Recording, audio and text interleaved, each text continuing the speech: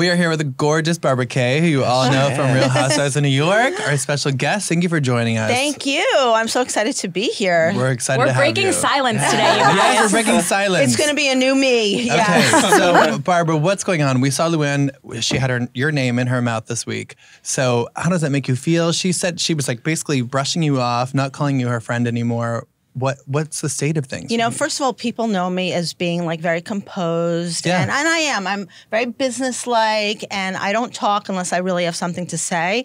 And I feel like I've been silent way too long. So this is the new me that you're going to see. It's time. Um, the Kool Aid, as Dorinda was saying, kind of just went out of my body. I got no Kool Aid left in me, and I am ready to just, you know, tell it like it is from Yeah. a businesswoman's perspective. Oh. Good. Mm-hmm. Let it Yeah. let- wait. Bring it. So w- what what is going on with you, Luann? When's the last time you guys talked? You know, we haven't spoken at the reunion, okay? I don't know if you guys remember. How could I forget? She was mad about the second hot mic moment that I had where Right. I, I said that I told my sister, by the way, let's let's clear the air that it wasn't a friend, it was my sister who lives in London who had no idea about anything about the housewives Yeah. and she was like, "Who is this? Is this going to be a, like an Adele performance because she's from London? She lives in London."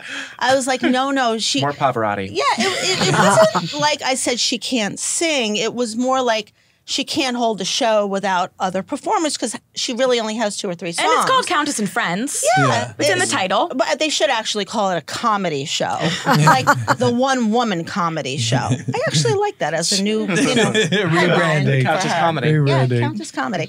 Um, and so at the reunion, she uh, hugged me. I don't know if you remember the big hug, Yeah. everybody. And after the reunion was over, I went to her room to see me, and she practically slammed the door in my face. She wouldn't talk to me. So the hug was fake. Stop. Wow. Yeah, it was my a God. fake hug. This is why the camera should never stop rolling on anyone who's on Bravo. Like you have to see everything. Yeah, it was. Uh, she, Mary, her makeup artist, who's also a friend of mine, invited me into her room, and she said, "What is she doing here?" I was like, "What? We just hugged it out, girlfriend. You know, isn't that wasn't that real? No, it wasn't real. I didn't know this. Right. Okay. Wow. So fast forward, May 17th, the reunion was her birthday. And I said, you know what? Okay, let me throw a birthday party for her because I want her to feel like I really am sorry because this is her livelihood. You know, this is really important to her. And I threw her a new clam bake. One without without the girls, one Yeah. that nobody was going to steal lobsters, and I had it at my house with her family.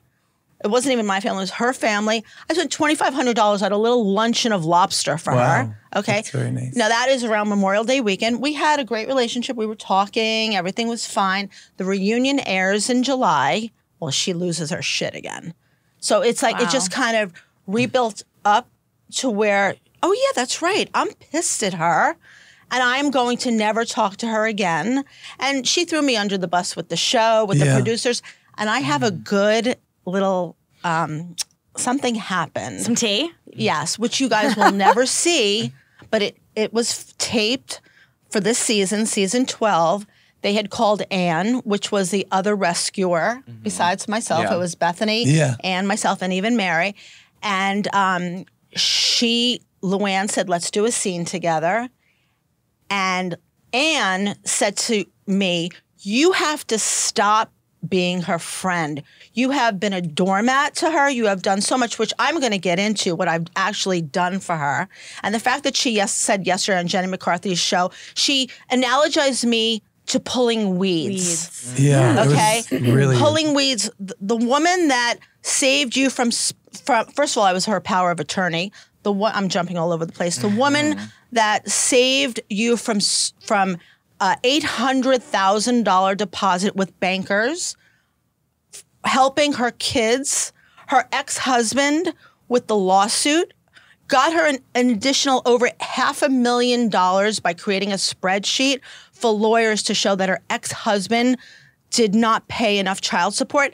I mean, getting her a mortgage on her first Sag Harbor house. Hmm. This these are the things that this woman who has now been referred to as pulling weeds, yeah. okay, has done for this Wow. woman. And the narcissism of this woman and her self-importance And her blatant disregard for people that have helped her has got to stop. Yeah. Wow. Wow. What do you, Mic drop. What do you Yeah. think will make it stop? Anything? I mean, sometimes I used to think with the last rehab that she has to hit rock bottom. And I remember her calling me from rehab, I mean, manically, five, six times, seven times a day.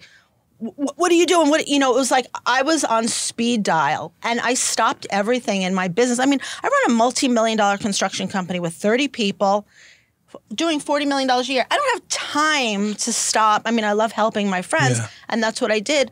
But to now totally d- disregard the fact that myself, Bethany, and let me get back to the taping of season 12, which you will never see. Ann stood up while they were taping. Let's get the elephant out of the room and mm. talk about Barbara and the fact of what she did for you and how you're not talking to her right now.